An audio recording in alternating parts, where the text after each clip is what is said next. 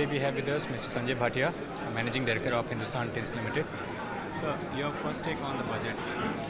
My first take, I'll restrict myself to to MSME sector in particular because I am president of uh, FICCI CMSME. Uh, it's a allied body with FICCI.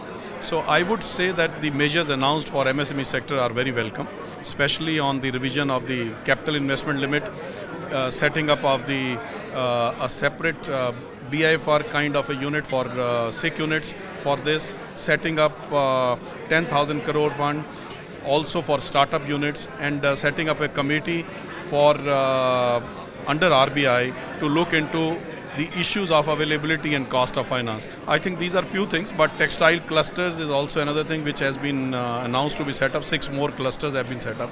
So these are few things which I think would boost uh, MSME sector. Uh, there is also announcement regarding uh, the bankruptcy law for the MSMEs. Would you like to say something on that? Sorry.